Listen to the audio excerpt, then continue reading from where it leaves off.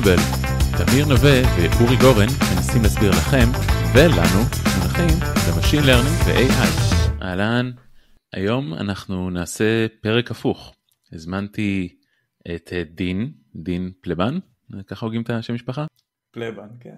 ודין הוא מעבר לזה שהוא חבר והמנכ"ל של DagsHub, יש לו גם פודקאסט מאוד פופולרי בשם MLOps פודקאסט, וכנראה גם מראיין יותר מנוסה. אז הפעם נזמין את אה, דין, נראיין אותי על נושא שמאוד קרוב לליבי, לפחות מאוד אופנתי עכשיו. אז אה, דין, נראה לי בוא תציג את עצמך. מעולה. אז אה, אורי, תודה רבה על האירוח, ואני, כן, אני נהנה להקליט פודקאסטים, אני אוהב לדבר, ואני אוהב לדבר עם אנשים, וזו הזדמנות תמיד טובה לשמוע דברים מעניינים, אז, אז תודה על ההזמנה. אני, כמו שאמרת, אני דין פלבן, אני המנכ"ל וה-co-founder של חברה בשם DagsHub. הרקע שלי הוא שילוב של פיזיקה ומדעי המחשב, למרות שבזמן הפנוי שלי אני אוהב גם לעשות דברים כמו עיצוב ואומנויות לחימה. אמ, ומבחינת מה שאנחנו עושים ב DagsHub, אז אה, יש לנו אה, פלטפורמה שמאפשרת לצוותי ML לנהל את הפרויקטים שלהם, בדגש על ניהול של דאטה אה, ושל דאטה unstructured, כלומר תמונות, טקסט, אודיו, וידאו. וזהו, בואו בוא נצלול. אז כשהתחלנו לדבר על, ה, על הנושא שהפרק הולך להיות עליו, זה קצת הפתיע אותי שאתה יודע, אתה בסוף uh, מומחה ML, uh, רוב מה שמעסיק אותך ב-day to day, או לפחות זה מה שדמיינתי, זה איך אני מאמן מודלים ממש טובים ועובד עם דאטה מורכב וכולי, והתחלנו לדבר על cookies, uh, שזה משהו שאני מכיר כזה, אבל בפריפריה, ומעניין אותי לשמוע, כאילו, מתי התחלת לחשוב על cookies, ו- ואיך זה קשור ל- לעבודה היומיומית שלך? אז כן, יש עכשיו טרנד מאוד גדול בעולם הפרסום, שזה נקרא ה-Cookie-less Future. כל מקום שהולכים בעולם פרסום, מדברים על העולם ללא עוגיות. עכשיו, אה, זה משהו שכאילו לנו כאנשי Machine Learning לא חשבנו על זה. מעבר ל pop-up ים המעצבנים האלה של אה, Do you accept cookies, לא, לא נראה שיש יותר מדי השפעה, אבל דווקא כן. זאת אומרת, רוב הפיצ'רים החזקים בעולם הפרסום זה פיצ'רים שקשורים לפרסונה. כן, איפה ראיתי אותו באתרים אחרים, מה העדפות שלו, איזה שעה ביום, מתי, אה, מה הפעילויות שלו וכדומה, וכל הדברים האלה הם או עם קוקיז, או עם אה, מזהים אחרים, לפעמים אפשר אה, לזהות את ה-Device של, המחש... של הבן אדם. ועכשיו, שיש דיבורים על זה שזה הולך להילקח, מצד אחד זה מצוקה גדולה, כי מה נעשה? מצד שני, יש תקופה מרהיבה עכשיו בעולם ה-Machine Learning, נכון? עם כל ChatGPT, Stable Diffusion, מודלים חזקים, חלקם פתוחים שלא לא ראינו כמוהם, ודווקא נראה ש, שיש מה לעשות, אז זה באמת אה, נושא, זה הזמן הנכון לטפל בבעיה, נגיד את זה ככה. כן, נשמע, זה נשמע ממש מעניין שכאילו מצד אחד, אני מניח שחלק גדול מה, מהצופים כשהם חושבים על קוקיז, הם חושבים על איזה לוגיסטיקה מעצבנת כזאת שצריך אה, להתמודד איתה, וכשהם חושבים על LLMs ועל ChatGPT ועל אה, Stable Diffusion וכדומה, הם חושבים על הדברים הכי מלהיבים שיש היום בעולם שהם מתים להתעסק בהם. ואני חושב שעצם העובדה שיכול להיות שהטכנולוגיות האלה קשורות זה משהו די מטורף, אבל אולי באמת צריך קודם כל לקחת צעד אחד אחורה למקרה שאנשים אה, לא יודעים מה זה. אתה יכול להסביר מה זה בכלל קוקי ולמה משתמשים בהם? בוודאי, אז האמת, אפילו כשלמדתי את התואר השני לפני 12 שנים, היה איזה קורס על קוקיז ובעיות הפרטיות שלהם, קורס משותף של, אה, לא זוכר, זה המשפטים ומדעי המחשב. זאת אומרת זה משהו שהוא נדון הרבה מאוד זמן. בשורה התחתונה קוקי זה פשוט מזהה בדרך כלל שהדפדפן שם אצל מבקר כדי שבביקור הבא באותו אתר נוכל לזהות שזה ביקור חוזר שזה אותו בן אדם. בעבר גם היה אפשר אה, עדיין אפשרי בצורה כזו או אחרת לראות אה, לזהות אותו משתמש בין אתרים שונים ובעצם לבנות אה, פרופיל העדפות. כן, זה, זה קוקיז במובן הכי פשוט. במובייל יש עוד כמה דברים נוספים בשביל לזהות בן אדם. הבנתי אותך, אבל בפועל, מה שנקרא, אה, מה שתיארת עכשיו יכול, יכולתי לפרש אותו גם כ, אוקיי, זה רק כלי שמאפשר לי לדעת שאותו הבן אדם מגיע אליי לאתר, אבל כמובן ש...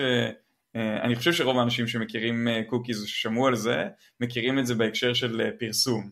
אז אתה יכול אולי לספר איך מפרסמים משתמשים בעוגיות? אז בעולם הפרסום יש כל מיני מודלים, וב...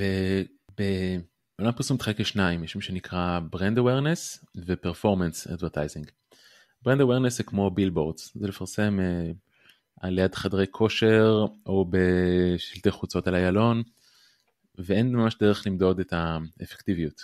אתה יכול להגיד, היי הנה בושם, תדעו שהוא קיים, במבה יצאו בבמבה, אוסם יצאו בבמבה נוגת חדש, אבל אתה לא עושה את הרכישה של הבמבה אונליין. כן, אין דרך לקשר.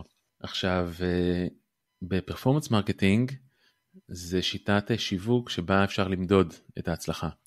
זאת אומרת אם מישהו עכשיו נגיד פרסמתי איזה אפליקציה והוא הגיע ל App Store והתקין אותה אני יכול להגיד רגע זה בגללי זאת אומרת יש פה עניין של attribution אז חייבים דרך לזהות משתמשים שזה ה cookies ושימוש שני זה מה שנקרא retargeting גם תחת performance marketing משתמשים שקונים במבה נוגת אולי קונים יחד עם זה קולה כי הם צמאים אז אפשר, אה, אם זיהיתי ובניתי פרופיל של כל מי שביקר ורכש אה, מוצר א', אולי נציע לו מוצר ב'. אז כל זה בעצם מחייב את היכולת זיהוי. מדהים, אז uh, אני חושב שבאמת מנקודת המבט שלי תמיד זה היה משהו שהייתי מאוד מודע אליו. מצד אחד, אני חושב שכצרכן, אנשים מאוד, הרבה פעמים, לפחות ישראלים אני חושב, מאוד לא אוהבים שמפרסמים להם. אה, ושזה בייחוד שזה מרגיש טרגטד וכזה חורג מה, מהפרטיות, כאילו איך אתם יודעים עליי את כל הדברים, זו הייתה תקופה מאוד ארוכה שאנשים היו בשוק שהם מדברים על איזה משהו בסושיאל מדיה ופתאום מקבלים פרסומת לדבר הזה וכולי, אבל אני חושב שחשוב גם להגיד את הצד השני, שבסוף uh, מה שנקרא relevancy, שזה גם מה שאנחנו מדברים עליו היום הרבה בקונטקסט של LLM outputs, שכשאתה הולך ומסתכל בא, באינטרנט אז כנראה שרובנו היינו מעדיפים פרסומות רלוונטיות לדברים שמעניינים אותנו מאשר לא. הבעיה היא באמת שאני חושב שבהרבה מאוד מובנים זה מרגיש כאילו אנחנו צריכים לוותר על הפרטיות שלנו בשביל אה, אה, לקבל את זה וזה כואב ל, להרבה מאוד אנשים. אז אני חושב שכאילו אפשר לטעון שהכוונה המקורית של, עוגיות הייתה אה, אולי כוונה טובה, שבאמת האינטרנט יהיה יותר פרסונליזד, אבל הרבה מאוד פעמים אנשים לקחו את זה מאוד אה, אה, לא טוב, את החדירה לפרטיות. ואני חושב שזה קצת מתחבר למה שקורה עכשיו, אז כאילו באמת יש הרבה מאוד מגמות שמעלימות אה, או, או הולכות לכיוון של לא יהיה יותר עוגיות, אבל אני אשמח אם אתה תוכל להסביר על זה עוד, כי נראה לי שאתה מבין בזה הרבה יותר ממנו. כן, אז האמת שבכל מה שקשור לקוקיז אפשר לטעון שזה פוגע בפרייבסי, למשל יש תמיד את הדוגמאות, יש איזשהו חבר שהציע כבר לפני הרבה זמן, הציע לאשתו נישואין, ורואה שהוא חיפש טבעות אז פתאום קפץ וזה הסגיר אותו. כן, אז יש פה מין ה... מן הפגיעה ב privacy ואין ספק שזה אותה שמירה ואותו retargeting של מפרסמים יכול לעשות נזק. כן, זו טענה שאין כל כך אה, איך להתחמק ממנה, זה נכון, cookies פוגעים ב privacy.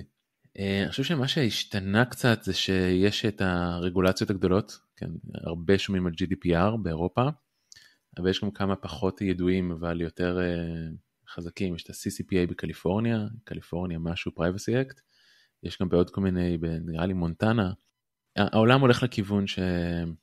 של לאסור או להגביל שימוש אה, במזהים, וזה שם אה, הרבה מאוד אה, בעיות גם על המפרסמים וגם על כל, ה... כל השרשרת value שמגיעה אחרי, כן, יש חברות attribution כמו AppsFlyer ו-Just, שכל תפקידם הוא להיות שופט מהצד, מי הציג מודעה, מי ראה, יש ממש שוק שלם שעכשיו נפגע מכל, ה... מכל היעדר יכולת האטריביושן הזו. לא ידעתי שיש אה, דברים דרך אגב מיוחדים במונטנה, אני גרתי במונטנה שנתיים אז זה מעניין, אני אבדוק את זה אחר כך. אמ, אבל בעצם הרגולציות האלה יצאו לפחות אה, באיזה כזה טיוטות ראשונות, כלומר העולם ידע שהן מגיעות כבר לפני אה, לא מעט זמן, ובעצם מה, מה קרה מה, קור, מה קורה עכשיו שהוא משנה כבר את אופן העבודה שכבר אולי אי אפשר להסתמך על עוגיות כמו פעם? אז כנראה שהתכנון היה קצת קודם. זאת אומרת אם מסתכלים קצת על ההיסטוריה כנראה שב-2020 זה היה אמור להיות עידן הקוקילס אבל החבר'ה בארצות הברית הבינו שזה לא זמן טוב לנענע את הסירה אז דחו את, את ההחלטה הזו בכמה שנים והשנה 2024 זה השנה שמדברים עליה בתור השנה של ה cookieless. אמ, אפל טיפה הקדימו אפל לדעתי כבר לפני שנה ב-iOS 14, 14 וחצי, כבר אז הם אה, אסרו על השימוש במזהה אה, IDFA שלהם אה, לאפליקציות, זאת אומרת כל מה שאפליקציה, מי שמשתמש באייפון בטח מכיר כזה את ה pop-up המעצבן הזה של משהו בסגנון של This app wants to track you, do you approve, או משהו כזה מלחיץ, אז זה אפל, הקדימו פה תרופה למכה, זאת אומרת, נכון, הם עשו פה צעד שיווקי יפה. וממש לפני משהו כמו חודשיים, תחילת, טיפה יותר, בסוף אוקטובר, גם גוגל יצאו עם זה שהכרום החדש, אה, יהיה בלי third party cookies. זאת אומרת זה משהו שהוא כבר ממש מתחיל להיכנס אה, לאט לאט לשלל מוצרים, טוענים שספארי הולך להיות בלי קוקיז בכלל. זאת אומרת יש איזושהי מגמה כזו של כל הוונדורים להקשות מאוד על מפרסמים. עכשיו כמו שאמרנו הבסיס זה הרגולציה והתזמון זה שעכשיו הרגולציה מתחילה להיאכף. מעניין. אז עכשיו כאילו, אוקיי, נראה לי שמי שהאזין עד עכשיו מבין קצת יותר טוב איך, אה, איך, אה, מה זה עוגיות, איך משתמשים בהם היום אה, ומה האתגרים. ועכשיו, כאילו, איפה ML נכנס בעצם לתמונה? קודם כל, איך עושים, אולי, אולי נתחיל מאיך עושים היום ML בתעשיית הפרסום. מעולה, אז, אז בואו נדבר תכלס. אם יש לי מזהה של משתמש, אני יכול להנדס מזה המון המון פיצ'רים טובים. למשל, באיזה קטגוריות ראיתי אותו. אם זה משתמש שראיתי אותו בעיקר אה, בעולמות האופנה או בעולמות הספורט, אני יכול לבנות פה איזשהו סוג של פרופיל. למעשה בעולמות, אה, באלגוריתמי ההמלצה, יש תמיד חלוקה לשניים, יש אלגוריתמי content filtering שמבוססים על הפריט ולהבין מה קורה בו, ויש collaborative, של להבין משתמשים דומים, איזה פריטים הם רואים. אי אפשר לעשות collaborative filtering בלי לזהות את המשתמש. אם כל מי שמשתמש נכנס לאתר זה משתמש חדש, אז אי אפשר למדל את זה בכלל. אז אה, זה באמת משהו שהוא מאוד מאוד כל כך בסיסי וכל כך אינהרנטי לזהות משתמשים, ולמעט חברות שחייבים להיות logged in, למשל שאני קונה באמזון אני חייב להיות logged in, אז אין בעיה של cookies, בהרבה מאוד סיטואציות אני לא. אני מבקר, אני עושה session, אני חוזר אחרי אתרי תיירות לרוב, נכנס שוב ושוב, קשה לבנות עלי פרופיל אם לא שומרים איזשהו קוקי כזה בצורה לא מפורשת. אז בעצם מה שאתה אומר זה שה... השימוש העיקרי של, ה, של ה cookies היה בליצור את ה... אמ, נקרא לזה פרופיל הקרוס סשנס ואז מודלי ML יכלו להשתמש בדבר הזה כדי לא רק להסתמך על תוכן אלא גם להסתמך על מי אתה כבן אדם ואיפה היית קודם אה, או מתי בפעם האחרונה היית פה אה, כדי ליצור את, ה, את הפרופיל הזה שלך שמאפשר להם להתאים את, ה, את הפרסומת ואני חושב שעוד איזושהי נקודה ש... שמבחינתי אולי, אולי חלק גדול מהסיבה שהיו את כל הבעיות האלה זה שהרבה מאוד אה, אה, אתרים וחברות השתמשו ב cookies כדי לעשות את זה גם across אתרים. פייסבוק אני חושב היו חלק מהחלוצים בתחום הזה של בעצם אתה עושה sign in אה, עם פייסבוק או עם גוגל או עם כל מיני דברים כאלה ופתאום אה, החברות האלה יכולות לדעת כל מקום שהיית בו באינטרנט ומה עשית בכל מקום ו, אה, וליצור פרופיל אולי הרבה יותר נרחב ממה שהיית רוצה. ו, ובעצם עכשיו אנחנו מורידים את כל הדבר הזה אז, אז רק כדי להבהיר זה אומר שאפשר להתחיל לחשוב תגיד לי אם אני טועה דרך אגב אבל שאפשר להתחיל לחשוב על כל סשן כ standalone session ועכשיו המידע שאני מצליח להוציא בסשן הזה ולבנות על בסיסו את הפרופיל שלך זה המידע שאני יכול להשתמש בו בשביל הפרסום שזה אומר שאני עדיין יכול לשמור עליך קצת מידע אבל המידע הזה מאוד מוגבל בזמן ברגע שאתה עוזב את האתר אז זהו אין יותר המידע הזה כבר לא מקושר לשימושים העתידיים שלך, למעט מקומות שבהם אני עושה sign. כלומר, שוב, כמו שהדוגמה שנתת, אם אני עושה sign לאמזון, אז מן הסתם זה שומר את המידע עליי לאורך הביקורים שלי באמזון, אה, פשוט לא בקוקיס. אז קודם כל, תגיד לי אם אני, אם אני אה, אה, צודק, ואם, ואם כן, אז באמת, מה, מה עושים עכשיו עם ML כדי בכל זאת לתת חוויה יותר טובה מאשר פרסומות רנדומליות. אז זה נכון ואפילו יותר מזה, גם במקומות שאתה signed in, למשל אי-ביי, אמזון וכדומה, יכול להיות שהיית רוצה להשאיר ממידע חיצוני, למשל אם חיפשת עכשיו את אותו אה, קורקינט חשמלי בעשרה אתרים והגעת אליי לאמזון, אני יכול להגיד רגע זה זמן טוב עבורי לפרסם את זה כי יש לי את זה במלאי. זאת אומרת כל ה-cross site enrichment הזה הוא די, או, או במילים אחרות third party cookies, הוא די נלקח לנו. כן, אז בעצם כולם uh, סופגים מזה. ועכשיו השאלה היא, uh, מה הלאה? עכשיו, בגדול, יש שתי גישות. גישה אחת, uh, אומרת, טוב, זה עולם הפרסום כולו חטף מכה, אז uh, לא משנה, זה כמו מה שנקרא, כמו rising tides, uh, rises all boats. lift all boats, כן. lift all boats, אז גם פה זה, זה, זה שפל אבל זה שפל לכולם אז זה, בסוף זה ב advertising זה תחרות כי אם אני לא אפרסם את ה brand שלי מישהו יפרסם את ה brand שלו אז הרבה מאוד אנשים לא מודאגים מזה. Mm-hmm. כי אומרים טוב זה, זה מכה זה רעידת אדמה אבל כולנו באותה סירה. ומהצד השני דווקא יש פה הזדמנות כי הסיבה שהשתמשנו כל כך והסתמכנו כל כך ב cookies זה כי זה היה יעיל וגם כי זה היה קל. ודברים כמו להבין טוב מאוד על מה הפריט ולהבין טוב מאוד את ה user היו נורא קשים. זאת אומרת לפני אני זוכר שכשעבדתי ביהו לפני הרבה זמן, הייתה לנו דרישה מלקוחות לא לפרסם מודעות של איירליינס, של חברות תעופה, על כתבות שמדברות על התרסקויות מטוסים. Mm. עכשיו זה היה רדיקלסלי קשה. לך תזהה את זה, לך תעשה את ההתאמה, לך תבין על מה הכתבה מדברת. הטכניקות שהיו לנו זה פחות או יותר bag of words, וזה קשה. כן, זה גם מאוד מאוד, אה, מאוד מאוד ספציפי לזאת אה, אסונות תעופה. אה, ודווקא היום זה נשמע כזה די, די טריוויאלי, נכון? נשלח את זה לצ'אט GPT, מדבר על אסון תעופה. כן, לא, good enough כנראה. אז הרבה דברים נהיו אפשריים עכשיו על ידי ניתוח תוכן יותר מעמיק.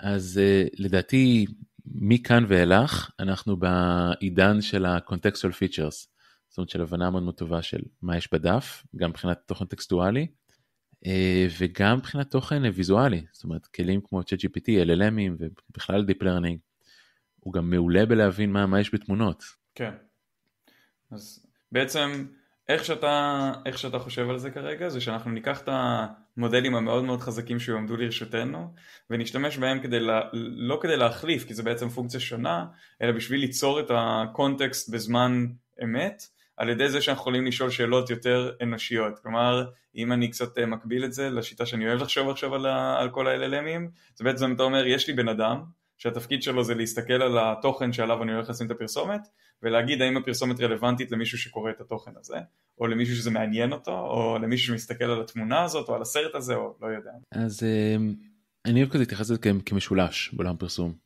אמ, יש שלוש משפחות של פיצ'רים שזה ה content איפה אתה מפרסם כן, בכתבה באפליקציה וכדומה ה context מה ה user עושה. כן, יכול להיות שנכנסתי ל Gmail מ-300 כיוונים שונים וה audience. אומרת, אם יש לנו את ה content, context ו audience, אז הצלע של ה audience, של מי הבן אדם, גיל, מין, אזור מגורים, אה, מצב משפחתי, זה נלקח לי, כבר אי אפשר לזהות. אז נשארנו עם ה content וה context. בגזרה של ה content זה באמת אה, כל הפיצ'רים של LLM ים וכדומה, זאת אומרת אפשר ממש להבין מה קורה. ו context זה גם משהו שמתאפשר לנו, context זה למשל פתחתי Gmail, יכול להיות שאתה ואני, שנינו משתמשים ב Gmail, אבל בצורה שונה לחלוטין. אה, אני משתמש בפיצ'רים כמו scheduled messages ודברים שאחרים לא, ואתה משתמש ב-snoozed messages ודברים שאפילו לא ידעתי שקיימים, כן, וטאגים ואלוהים יודע מה. אותה אפליקציה, שנינו כאילו כביכול ויזואלית נראה פחות אותו דבר, אבל הפלואו שלך בתוך אפליקציה והפלואו שלי הם שונים. הבנתי אותך. מעניין. ומבחינת המודלים ש... הקלאסיים שהשתמשו בהם, כלומר לא LLMs וכולי, איזה שינויים אתה אה, אתה רואה ששם הולכים להיות? אז במודלים הקלאסיים עכשיו אנחנו כבר לא יכולים לעבוד ברמה של uh, user ID או משהו כזה זה נלקח. אז יש סוויץ' מאוד מאוד גדול למה שנקרא, זה נקרא בעולם פרסום probabilistic models, למרות שב machine learning probabilistic models חושבים על מודלים בייסיאנים. Uh, בעולם פרסום שמשתמשים במונח הזה, מתכוונים למודלים שהם עובדים ברמת הסגמנט. למשל, לצבוע יוזרים ככלל, יוזרים של ארצות הברית עם אייפון 13 כ class ולעשות מודלים שמדברים על הנטייה שלהם ולא על הנטייה של דין או של אורי. הבנתי אותך. ויש שם אבל אני מניח הרבה מאוד אתגרים באיך אני מייצר את, ה, את הסגמנטים האלה בצורה יעילה. אז אה, מה, מה, מה כרגע הסטטוס של הדברים האלה ואם נגיד אני מאזין לזה ואני יודע שהמשימה שלי קשורה לעולמות האלה, מה, מה כדאי לי לקרוא, על מה כדאי לי להסתכל? אז הבעיה היא חמורה, זאת אומרת בסוף העניין הוא סגמנטציה, וניקח למשל את מה שאפל הטמיעו. אפל אה, הגדירו איזשהו פרוטוקול בשם סקן עם K, ששם אומרים יש לך 100 מספרים, תשתמש בהם לצבוע משתמשים. עכשיו 100 מספרים זה נורא מעט. כן, זאת אומרת אה, אם אנחנו עושים לוג 2 למספר 100 אז יש לנו שבעה פיצ'רים בינאריים שצריך לייצג איתם את כל העולם. זאת אומרת אפילו מדינות זה בעיה. כן, אפשר כן ארצות הברית לא ארצות הברית כן אייפון לא אייפון די מהר נגמר. זאת אומרת זה, זה באמת אילוץ מאוד מאוד מאוד מאוד גס איך אפשר בכלל אה, להתאים. עכשיו עם המאה מספרים או שבעה פיצ'רים בינאריים האלה אתה צריך להתאים איכשהו לקמפיין שאתה מפרסם. זה באמת אה, זה לא סגמנטציה זה סגמנטציה מאוד מאוד מאוד מאוד גסה. מעניין. ודרך אגב זה 100, זה 100 פיצ'רים בינאריים פר קמפיין או פר מפרסם או פר מה? 100 מספרים זאת אומרת 100 מספרים זה האמת היא שהדיטיילס הם טיפה מעייפים, כן, אם זה פר סיט, פר זה, לא, לא ניכנס לזה יותר מדי, אבל 100 מספרים זה שבעה פיצ'רים, זה, זה מאוד מאוד גס. זה, אז, אז יש לך כבר רעיונות ל... כאילו, מבחינתך אתה אומר הפתרון להתמודד עם ה... עם ה... נקרא לזה עוני של כמות הסגמנטים זה העושר של ה-LLMs וה-Gen AI או שיש פה עוד שיטות ש... שכבר חושבים עליהן כדי להתמודד עם זה? אז בגדול שתי משפחות, יש את ה-contextual features שזה באמת ה-LLM הבנה של, ה... של ה-content אה, לעומק, שזה בעצם נתיב שנפתח לנו לאחרונה.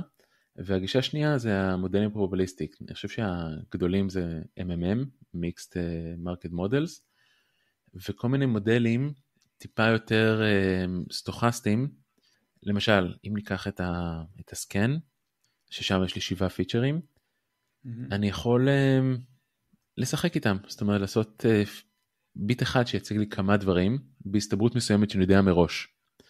ואז כשאני מקבל את זה חזרה אפשר להתחיל לשחק עם כל מיני כללים הסתברותיים כדי לדעת בגדול איפה ה user נמצא.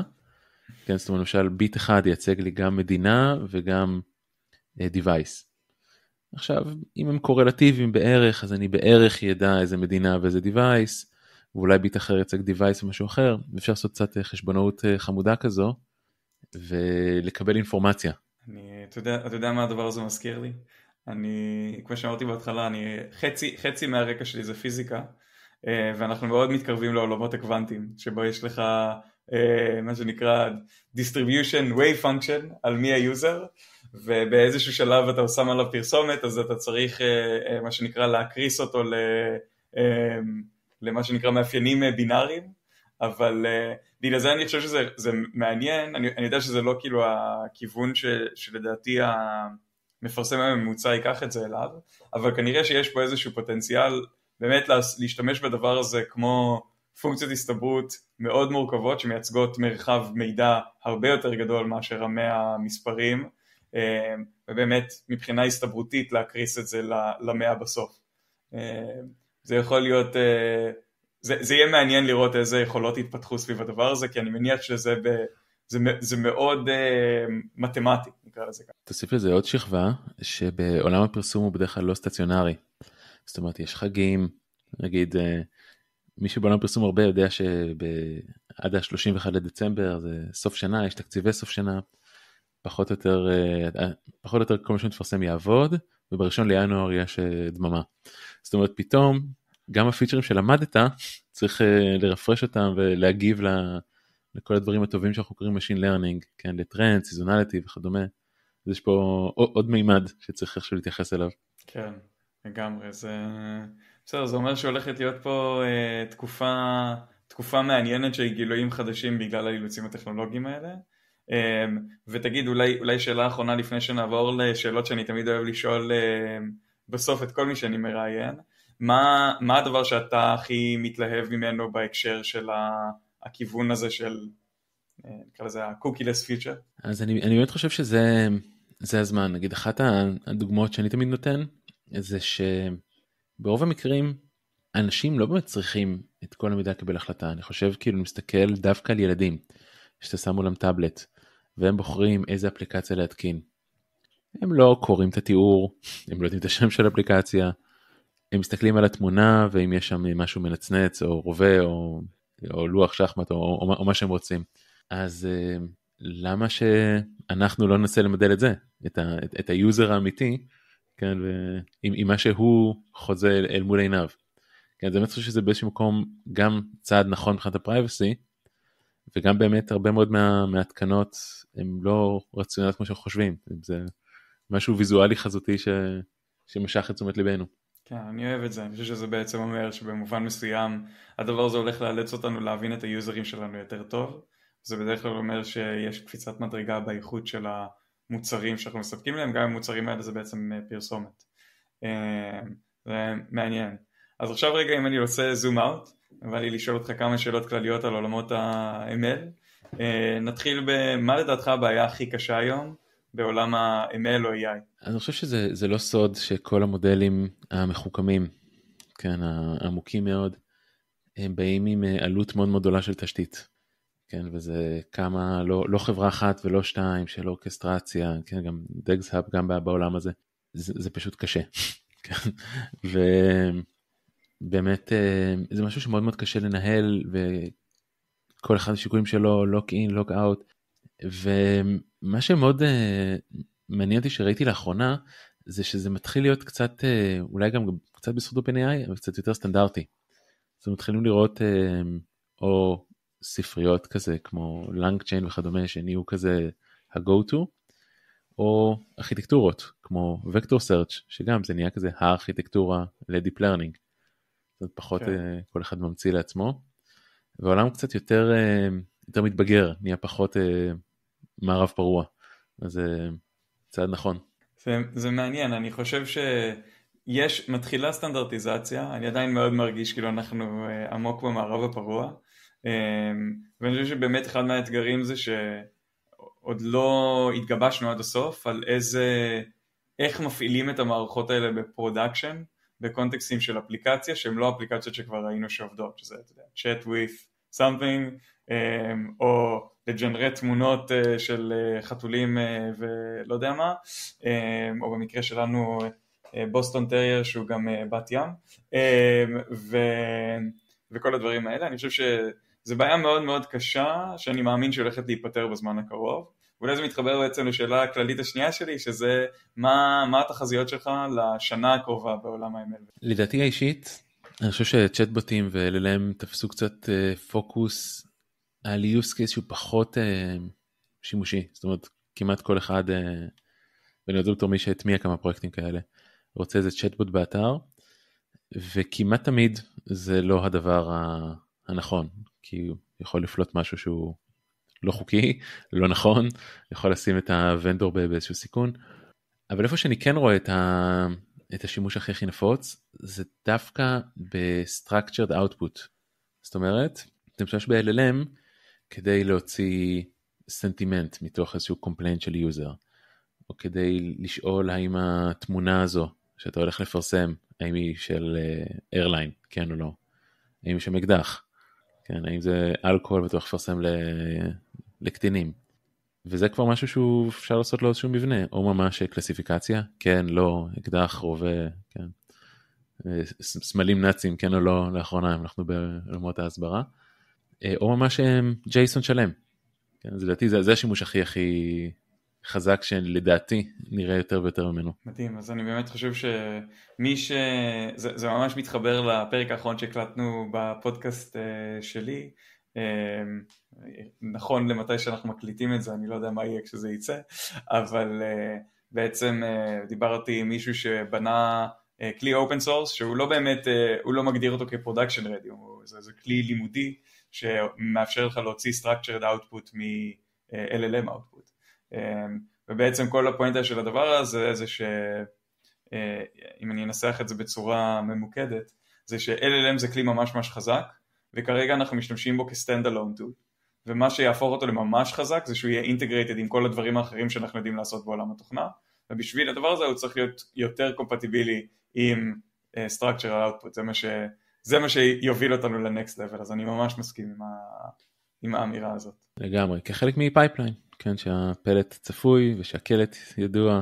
ומבחינת אולי דברים קצת יותר שנויים ממחלוקת, תן לי איזושהי עובדה שהיא נכונה לגבי עולמות ה-ML וה-AI, אבל שמעט אנשים יסכימו איתה. או, שאלה, שאלה קשה. אמ, קודם כל, אני חושב שהרבה אנשים יסכימו עם זה, אבל שיש הרבה מאוד, יש שימוש, נגיד את זה ככה, מיותר קצת ב-LLMים להרבה מאוד, מאוד דברים ש... ביטוי רגולרי יכל לפתור, אתה יודע, או, או תנאי, כן? אז זה נגיד הרבה פעמים זה נורא נורא אה, מגניב, אבל זה פשוט overkill מטורף. זה נגיד אני נתקל בו המון המון המון המון פעמים. אה, כמובן אני לא אציב מישהו בפוזיציה שאני אנקוב בשמו, אבל יש, יש הרבה הרבה מקרים כאלה שפשוט אה, LLM או בכלל אפילו Deep Learning יכול להיות פטיש נורא נורא נורא כבד. ש... לפעמים אתה צריך עיפרון, כן, משהו הרבה יותר, הרבה יותר קל, וגם אם הוא פותר את הבעיה, אז יש לו כל מיני אילוצים down the line שצריך לקחת בחשבון. כן, אחד מה...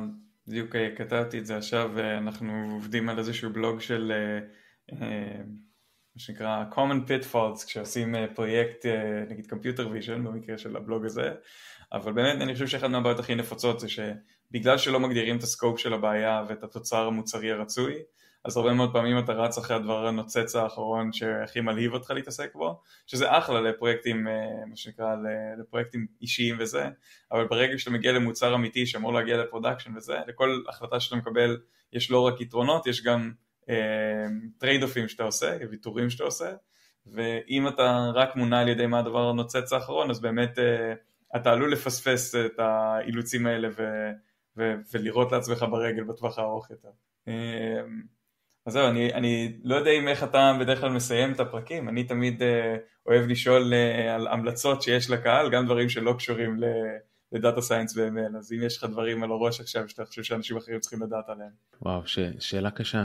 אמ, טוב, אני אנצל את ה... אם כבר דיברנו על structured output, אני אנצל כזה את ההזדמנות, עשינו סדנה כזו על structured output, בזמנו עשיתי framing לחיילי מילואים, כאילו הזמנתי למשרד.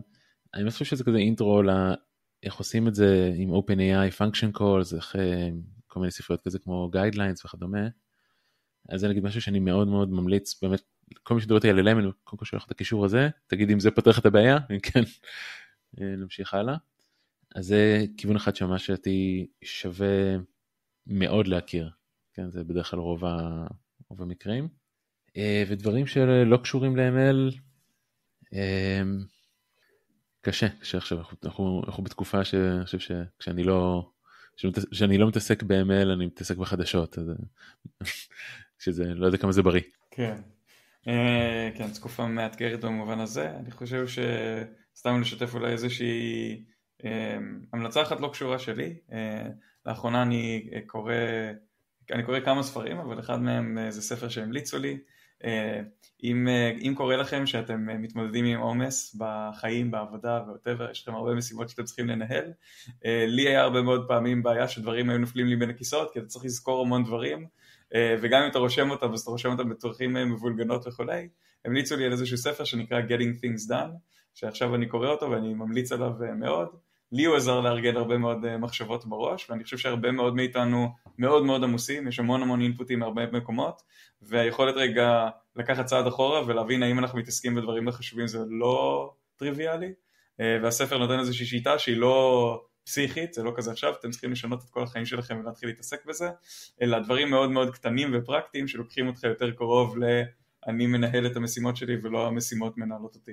אז זה איזושהי המלצה שיש לי, ומבחינת ML אז באמת אה, קודם כל אני ממליץ על הפודקאסט שלי, נקרא The MLOps Podcast, אה, אני מדבר שם עם אנשים שהם חבר'ה רציניים כמו אורי, שמביאים אה, מודלים ל production בכל מיני הקשרים, אה, לא רק בהקשר של ad tech ו cookies וכולי, ואני חושב שיש שם הרבה פשוט שיחות מעניינות, זה שיחות כמו השיחה שניהלנו עכשיו, הן באנגלית אמנם, והמטרה שלהם זה, יש המון אנשים שיש להם חוויות מאוד מאתגרות שהם התמודדו איתם, ואם אתם מתמודדים עם חוויות דומות אז חבל שתצטרכו ללמוד את הכל על בשרכם, אולי תוכלו לשמוע מישהו שעשה משהו אה, וכולי, אז אה, תמשיכו להקשיב ל-explainable ואני ממליץ שתבואו גם להקשיב ל-MLOps spot. אה, וזהו אורי, ממש תודה שאירחת אותי. תודה לך ואנחנו נתראה בפרק הבא.